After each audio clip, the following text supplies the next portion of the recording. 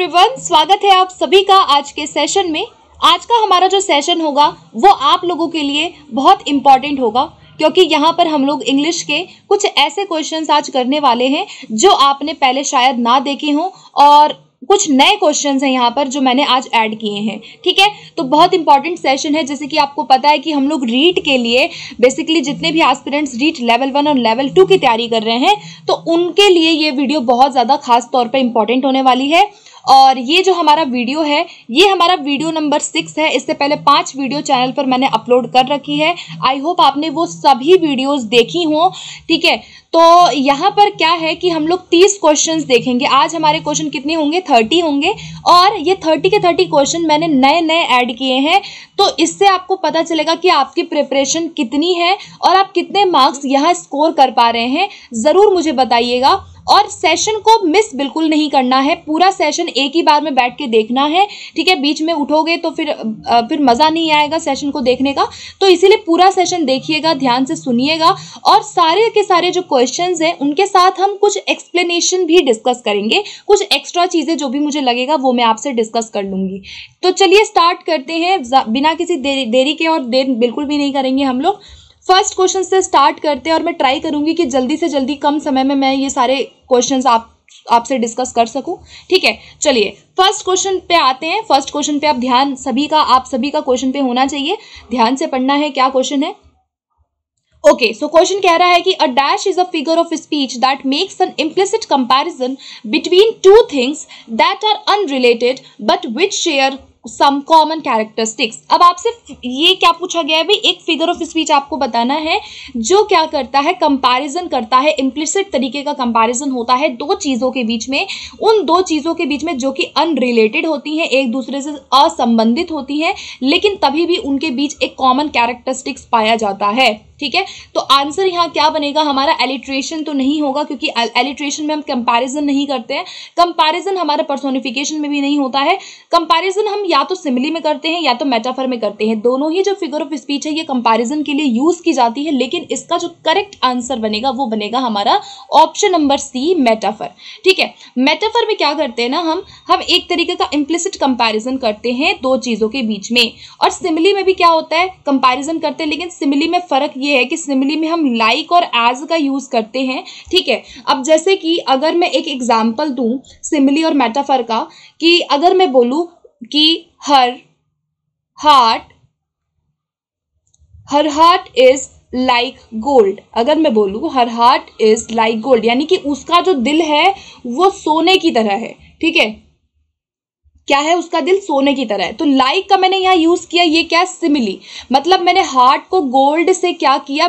Compare किया किसका use करते हुए? लाइक का यूज़ करते हुए। तो ये सिमिली है। अगर मैं मेटाफर का एग्जांपल दूँ तो यहाँ पे मेटाफर में क्या बनेगा? हर हार्ट इज़ गोल्ड अब मैंने उसके हार्ट को ही सीधा सीधा क्या कर दिया? गोल्ड बोल दिया।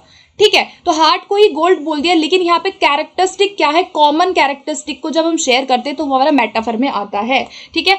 तो आई होप आपको क्लियर हो गया होगा फ़र्स्ट क्वेश्चन अगला क्वेश्चन देखते हैं। अगला क्वेश्चन भी वेरी वेरी इंपॉर्टेंट है, और ध्यान से पढ़िएगा कि क्वेश्चन में क्या कहा जा रहा है।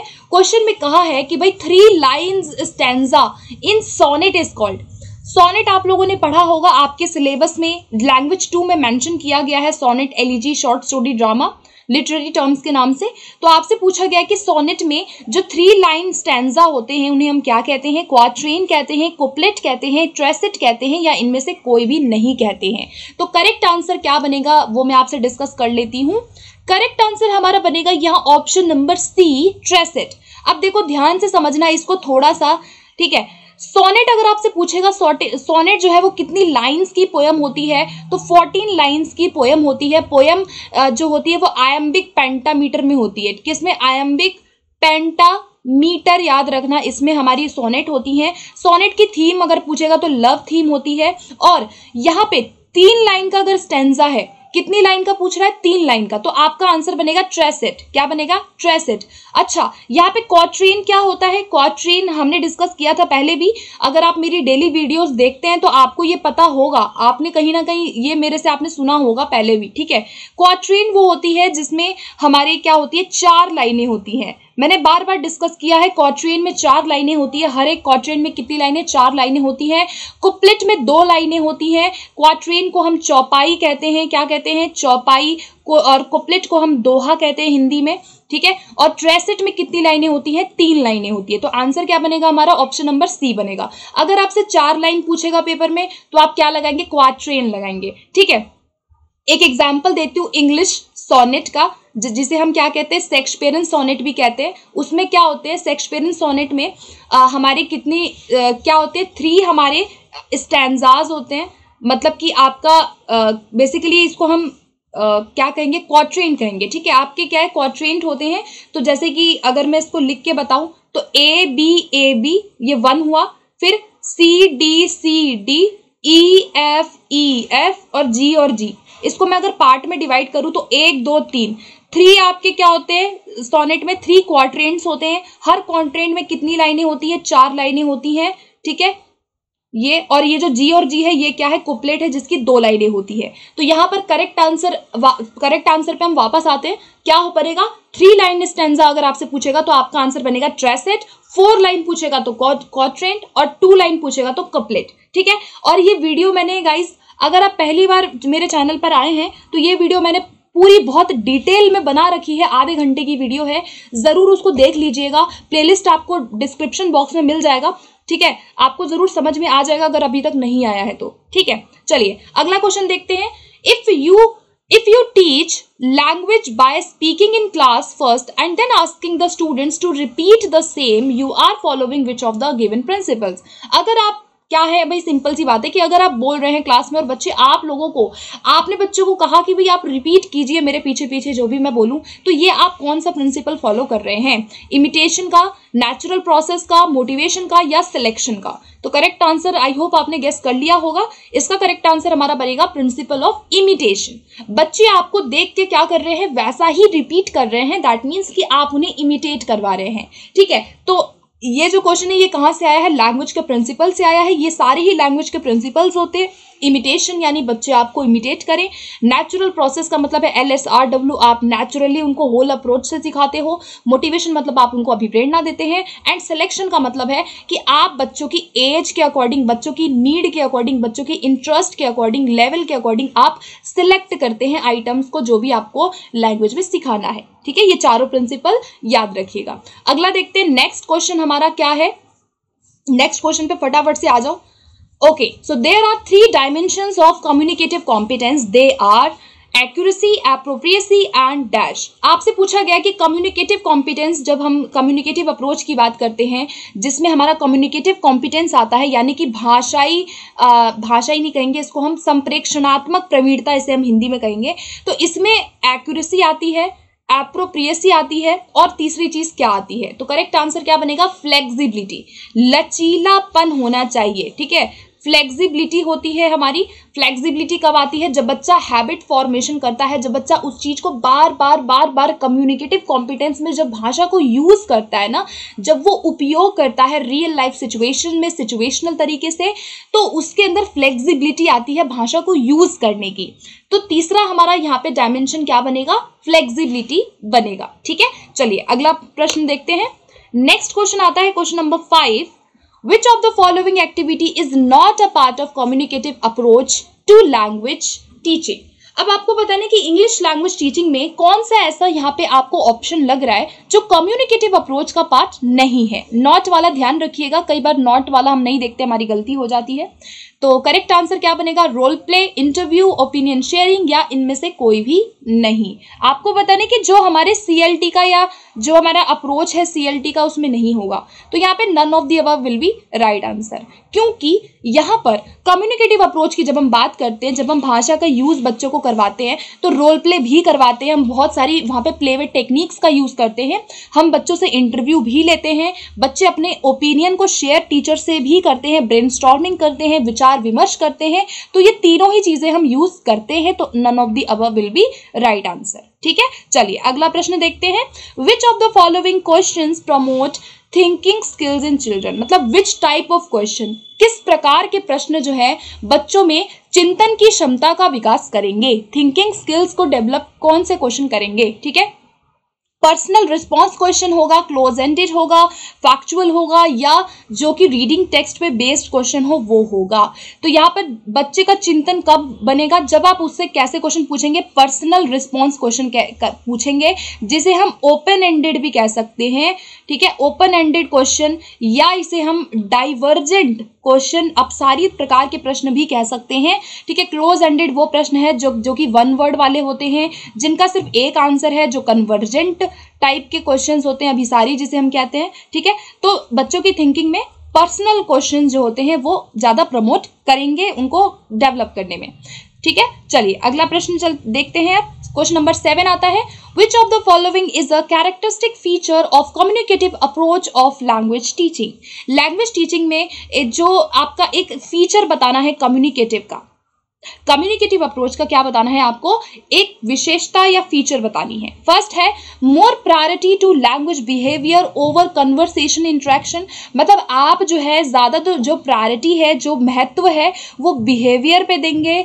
आप कन्वर्सेशन पे नहीं देंगे तो ये तो गलत हो गया, ये इसका फीचर नहीं होगा। दूसरा है learning is not based on pedagogically motivated activities third है learning based on generalised language content क्या हमारी लर्निंग एक जनरलाइज्ड कंटेंट पे बेस्ड होती है? इसका मतलब देखो क्या कह रहा है ना सिंपल सा ये है इसका मतलब कि जो आप बच्चों को लर्न करवा रहे हो ना, वो ऐसा कंटेंट पे हो जो जनरलाइज्ड हो। मतलब कि मान लो कि मैंने आपको कंटेंट दे दिया, मैंने आपको चैप्टर्स दे दिया, आपको टॉपिक दे दिया, आपको वही पढ़ाना है जनरलाइज्ड कंटेंट मैंने आपको दे दिया। तो हम तो ऐसा नहीं करते हैं क्योंकि हमें पता है कि फ्लेक्सिबिलिटी होती है। हम चेंजेस ला सकते हैं करिकुलम के अंदर। तो सी वाला भी नहीं होगा। तो यहाँ पे हमारा ऑप्शन बी राइट होगा कि लैंग्वेज जो है, वो पैडागोजिकली मोटिवेटेड एक्टिविटी पे बेस्ड नहीं होता है। टीचर अपने अकॉर्डिंग यहाँ पे वेरियस एक्टिविटीज़ करवा सकता है। ठीक है? तो option number B will be right answer अगला क्वेश्चन देखेंगे।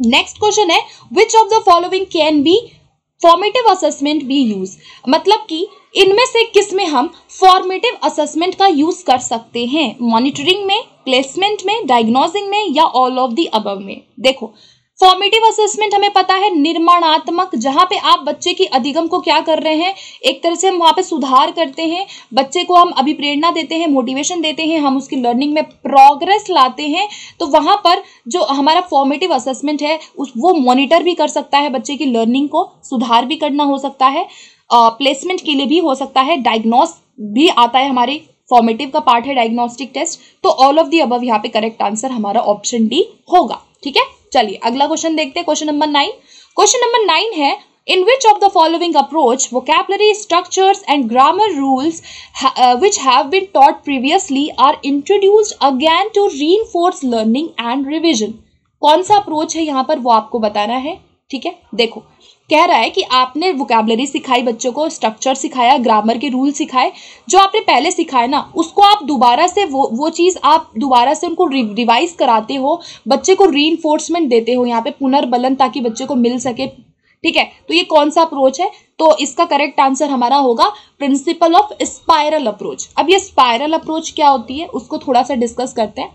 स्पायरल अप्रोच जो है, जिसको हम हिंदी में कुंडलाकार पाठ्यक्रम भी कहते हैं, एक तरह का करिकुलम होता है या अप्रोच होती है, जहाँ पे इस तरह से हम लर्निंग को इस तरह से देते हैं. ये स्पायरल हो गया, ठीक है? यहाँ पे क्या होता है कि आपने जो पहले उनको पढ़ाया है ना, आप उसको रिवाइज कराते हो, वहाँ पे आपकी जो रिविजन है आपकी रिवीजन जो होती है, वो इंपॉर्टेंट होती है तो इसे हम स्पायरल अप्रोच कहते हैं। यहाँ पे हम बच्चे को री प्रोवाइड करते हैं, ताकि लर्निंग में उसका सुधार हो सके। ठीक है?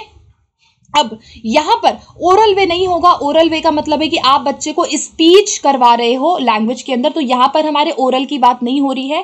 पैटर्न्स की बात भी नहीं हो रही है कि आप पैटर्न में सिखा रहे हो. मतलब पैटर्न का मतलब होता है कि भाई आपने पहले दो, आपने पहले ई का साउंड जो है करवाया, फिर आपने ओ का साउंड कराया.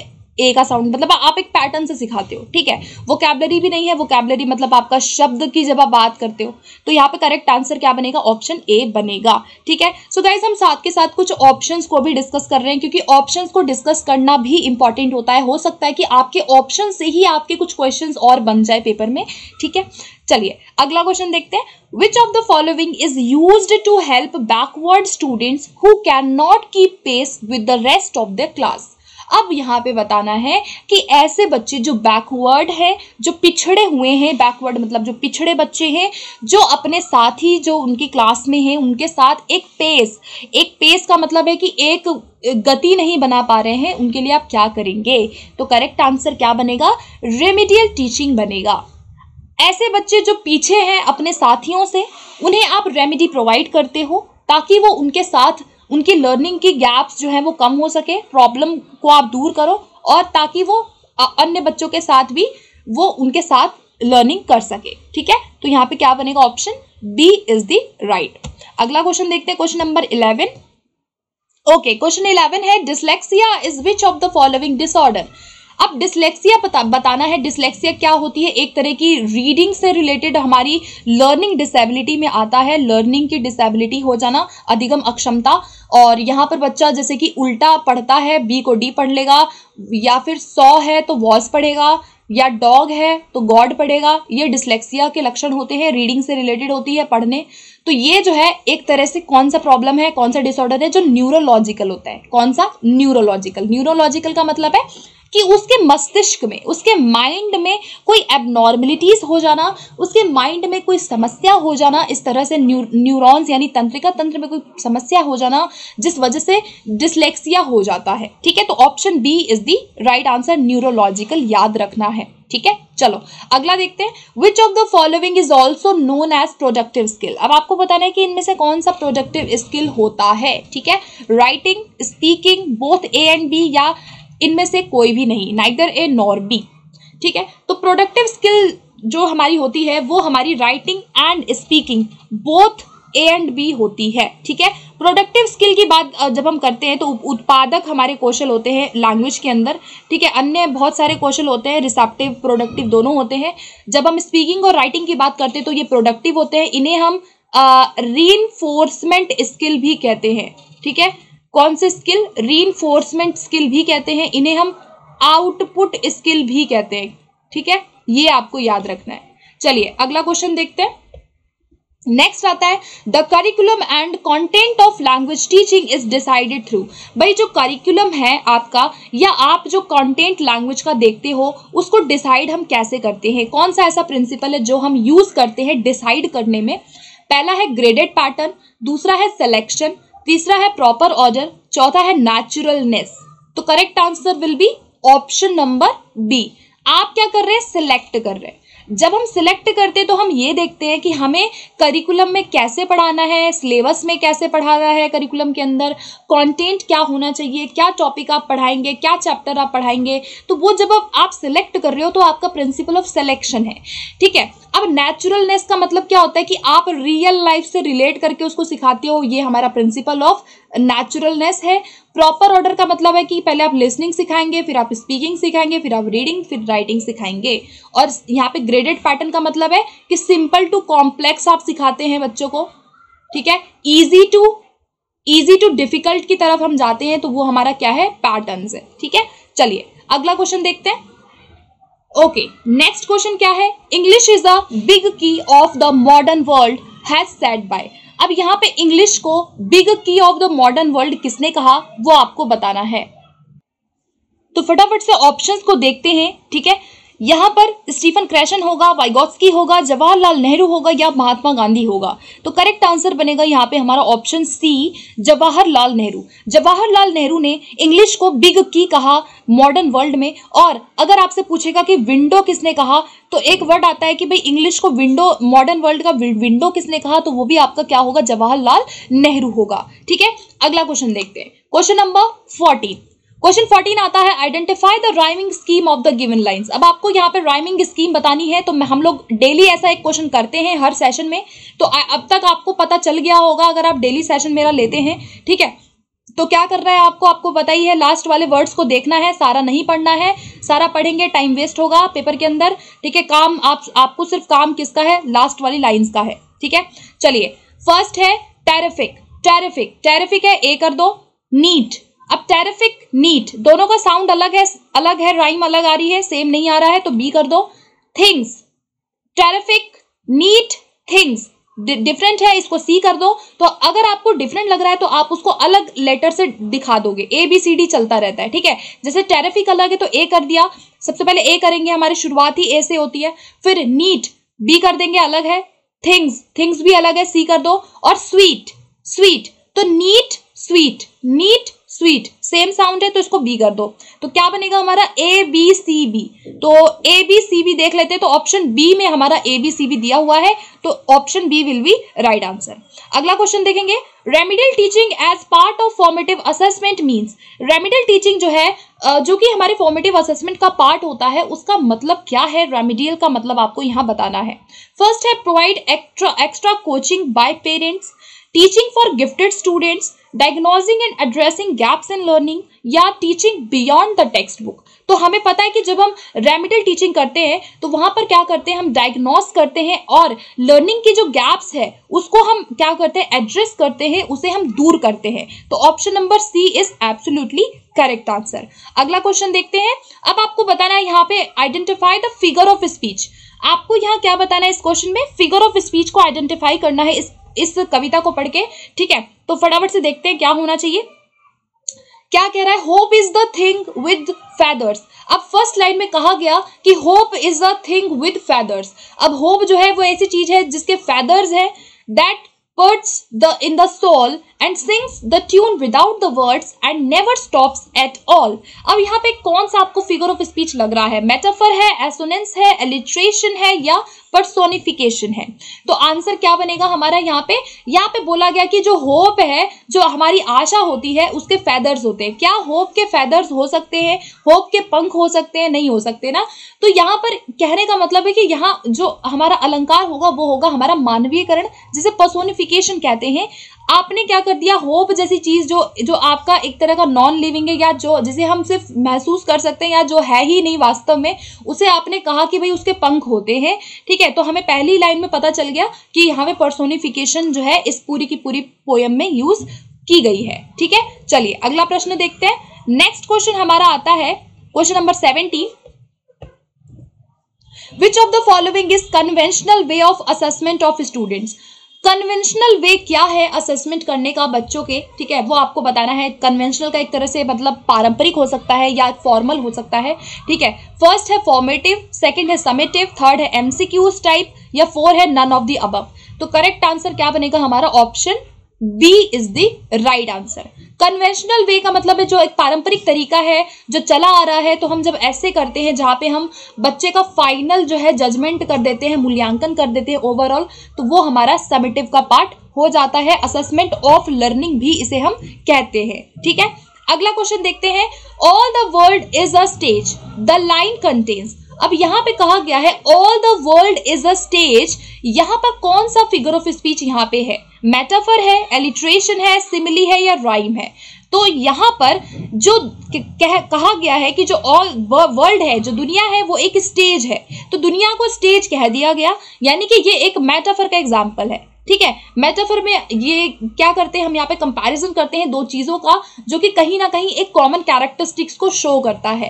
तो करेक्ट आंसर क्या बनेगा यहाँ? मेटाफर अगला देखते हैं next question good a good evaluation must be based on एक अच्छा मूल्यांकन जो है वो किस पर बेस्ड होना चाहिए?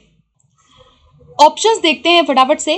फ़र्स्ट है comfort of the student second है फॉर्मेटिव टेस्ट थर्ड है समेटिव या बोथ बी एंड सी तो करेक्ट आंसर जो यहाँ पर होगा, एक अच्छा मूल्यांकन आपसे पूछा गया है, एक गुड इवेल्युएशन कैसा होना चाहिए, किस पे उस, उसका आधार जो है वो क्या होना चाहिए तो वो हमारा बी और सी दोनों होना चाहिए। यानी कि एक अच्छा इवेल्युएशन फॉर्मेटिव टेस्ट यानी एफए और एसए दोनों पर बेस्ड होना चाहिए। आपको पता है कि भाई हम जो है साल में चार बार एफ़ करते हैं, आपके दो एस होते हैं, है ना? फोर टेन टेन मार्क्स के आपके जो है एफ़ होते हैं। अगर सी बी एस ई की जो जो एक सीसीई में आपका जो पैटर्न है, उसके अकॉर्डिंग आपका चालीस परसेंट आपका फॉर्मेटिव होता है और आपका थर्टी थर्टी परसेंट जो है, वो आपका क्या बनता है? साठ परसेंट समेटिव बनता है और टोटल आपका हंड्रेड परसेंट बनता है। तो यानी कि दोनों ही चीज़ें एक अच्छी वैल्यूएशन में होना चाहिए। अगला प्रश्न देखते हैं। The theme of elegy is अब आपसे एलिजी का थीम पूछा गया है और ये क्वेश्चन आपका कहाँ से आया है? लिटरेरी टर्म्स से क्वेश्चन आया है। ठीक है? थीम बताना है मॉर्नफुल होना चाहिए सेलिब्रेटिंग रिलीजियस या ऑल ऑफ़ द अबव तो जो एलिजी होती है एलिजी हमारी एक तरह की शोक या विलाप तरीके की कविता होती है तो इसकी जो थीम होगी, वो हमारी होगी मॉर्नफुल मौन का मतलब होता है कि किसी तरह का शोक करना या विलाप करना। ठीक है? तो एलिजी क्या होती है? It is a lament poem ठीक है? लेमेंट पोयम होती है। लेमेंट का मतलब है कि एक शोक कविता होती है जो किसी की आ, जो किसी की डेथ पे ठीक है? बेसिकली किसी की डेथ पे लिखी जाने वाली कविता होती है। एक तरह की सैड पोयम ये होती है। तो सैड पोयम डेथ पे लिखी जाने वाली कविता लेमेंटेशन लेमेंट पोयम और मॉनफुल पोयम जो है वो एलिजी के कैरेक्टरिस्टिक्स में आएगा। ठीक है? तो ऑप्शन ए एकदम करेक्ट यहाँ पे हमारा आंसर होगा। अगला प्रश्न देखते हैं question number twenty one okay तो ट्वेंटी वन क्वेश्चन है.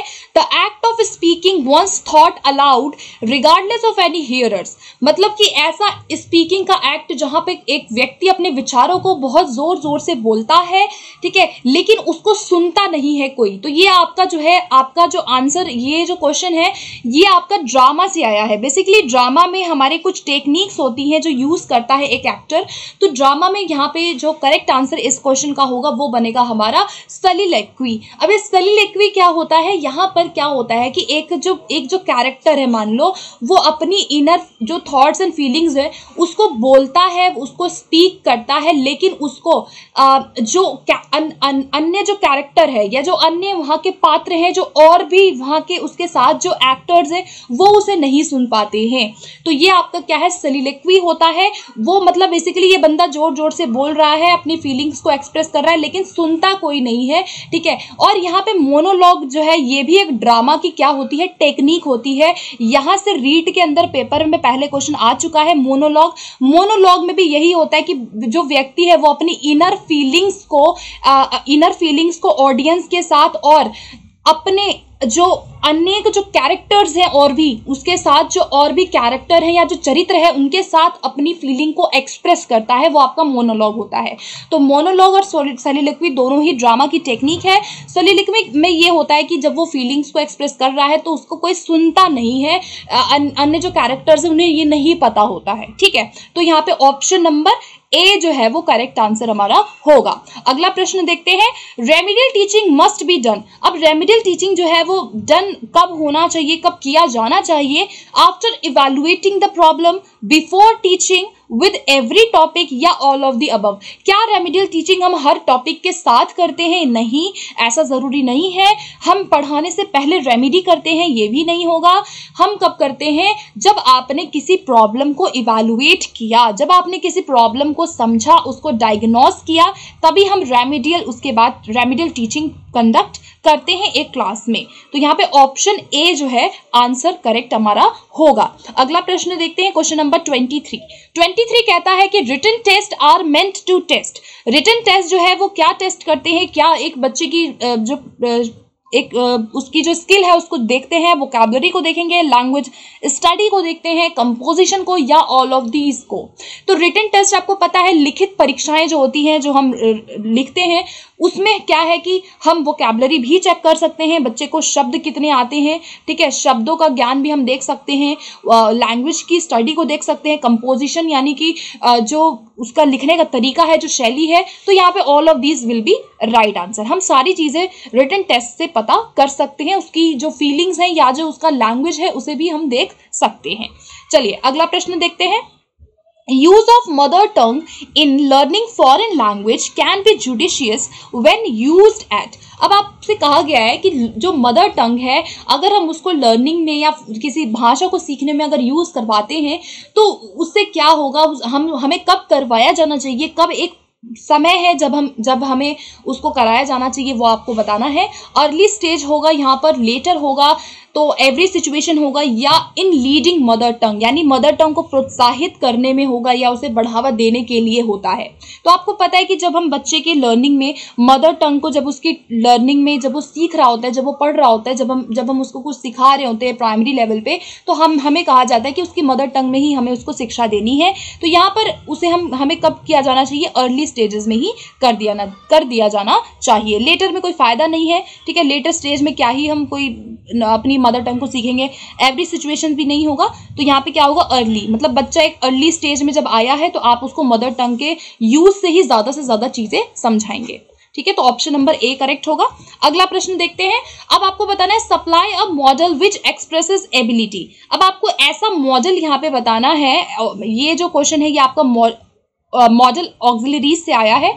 ठीक है तो जो एबिलिटी को दिखाता है मे दिखाता है मस्ट दिखाता है विल या कैन अब यहाँ पे एक सेंटेंस दिया हुआ है all the all of them dash speak three languages तो क्या होना चाहिए? आपको बताना है एबिलिटी तो यहाँ पे आंसर बनेगा can can speak three languages can हम तब शो करते हैं जब हमें किसी की एबिलिटी किसी क्षमता को बताना है किसी की तो वहाँ पर हम हम किसका यूज़ करते हैं? कैन का यूज़ करते हैं, ठीक है? मे का यूज़ कब करते हैं हम? किसी से परमिशन लेने के लिए हमें फॉर्मल तरीके से परमिशन लेनी है किसी से तो हम मे का यूज़ करते हैं। मे का यूज़ हम पॉसिबिलिटी को शो करने में भी कर सकते हैं। मस्ट का यूज़ कब करते हैं हम? स्ट्रॉन्ग ऑब्लिगेशन के लिए या एक स्ट्रॉन्ग डिटर्मिनेशन के लिए मस्ट का यूज़ करते हैं। ठीक है? अगला देखते हैं। We must come back by six must in the above sentence expresses अब यहाँ पे आपको मस्ट बताना है कि मस्ट का यहाँ पे क्या एक मतलब होना चाहिए, क्या शो करता है मस्ट पॉसिबिलिटी को शो करता है एडवाइस को शो करता है डिज़ायर को शो करता है या नेसेसिटी को शो करता है। तो हमने क्या डिस्कस किया कि भाई हम जब एक स्ट्रॉन्ग ऑब्लिगेशन को दिखाते हैं तो वहाँ पर हमारा आंसर बनेगा मस्ट ठीक है? तो यहाँ पर we must come back by six अब मस्ट हमें क्या बताता है? नेसेसिटी नेसेसिटी का मतलब कि हमारी एक ज़रूरत, हमारी एक आवश्यकता और हमारी एक तरह से क्या? कि स्ट्रांग जब हमारी किसी चीज़ को लेकर के एक डिटर्मिनेशन हो धारणा हो वहाँ पे हम मस्ट का यूज़ करते हैं कि भाई हमें ये करना है तो करना है। हमें छः बजे तक घर आना है तो आना है। तो यहाँ पे नेसेसिटी को दिखाया जा रहा है। एडवाइस की बात नहीं हो रही डिज़ायर इच्छा की बात नहीं हो रही है पॉसिबिलिटी की भी बात नहीं हो रही है। अगला क्वेश्चन देखते हैं। ओके okay, कुछ क्वेश्चंस और हैं फटाफट से देखते हैं। शायद ये क्वेश्चन मैंने पहले भी कराए हैं और बिल्कुल भी गलत मत करिएगा। ओके टोटल फोनेटिक साउंड्स आपसे पूछा गया है फोनेटिक सिंबल्स या साउंड्स इंग्लिश में कितने होते हैं? तो आंसर बनेगा 44 ठीक है? अब 44 में भी आपके क्या है? टाइप्स हैं। आ, कुछ आपके मोनोथोंग्स होते हैं कुछ आपके वॉवल्स होते हैं कुछ डिप्थोंग्स होते हैं कुछ कॉन्सोनेंट्स होते हैं। यहाँ से आंसर जो है क्वेश्चन आपका बनता है। तो 44 टोटल आपसे पूछेगा तो टोटल लगाओगे। इसमें से 20 हमारे क्या होते हैं? वॉवल्स होते हैं ठीक है? वॉवल्स होते हैं बीस और चौबीस क्या होते हैं? हमारे कॉन्सोनेंट्स होते हैं ठीक है?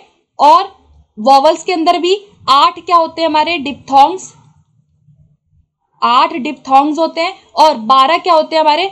मोनोथोंग्स होते हैं। ठीक है? मोनोथोंग्स कितने होते हैं? बारह, आठ डिप्थोंग्स होते हैं। ये सारे आपको याद रखने हैं। तो आंसर बनेगा ऑप्शन ए अगला है डिप्थोंग्स आर अभी डिप्थोंग्स क्या होते हैं? प्योर वॉवल साउंड्स होते हैं प्योर कॉन्सोनेंट साउंड्स हैं सेमी वॉवल साउंड्स हैं, या combination of two pure vowels हैं। तो डिप्थोंग्स का करेक्ट आंसर बनेगा ऑप्शन नंबर डी यहाँ पे डिप्थोंग्स क्या होते हैं? दो प्योर वॉवल्स के कॉम्बिनेशन होते हैं। यानी मान लो कि ए है और ई e है, या आई और ई e है, या ओ और यू है। तो ये क्या है? आपके डिप्थोंग है। जहाँ पे आपके दो प्योर वॉवल है इन्हें हम ग्लाइड वॉवल्स भी कहते हैं।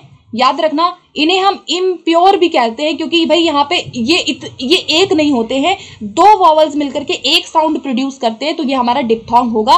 डिप्थोंग्स की संख्या कितनी होती है? आठ होती है। ठीक है? अगर आपसे प्योर वॉवल साउंड पूछेगा तो आपका आंसर क्या बनेगा? मोनोथोंग्स बनेगा जो बारह होते हैं। ठीक है? चलिए अगला क्वेश्चन देखते हैं। Which of the following does not have I sound अब इसमें से ये आई जो है, इसमें कौन सा सा वर्ड है जिसमें ये आई का साउंड नहीं है?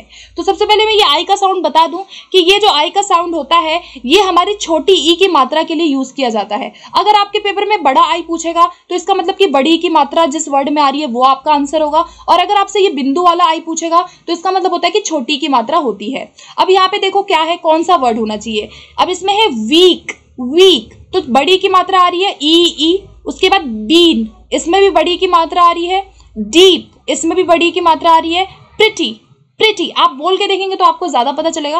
प्रिटी में जो ई की मात्रा है, वो छोटी ई की आ रही है, ठीक है, बोलने पे।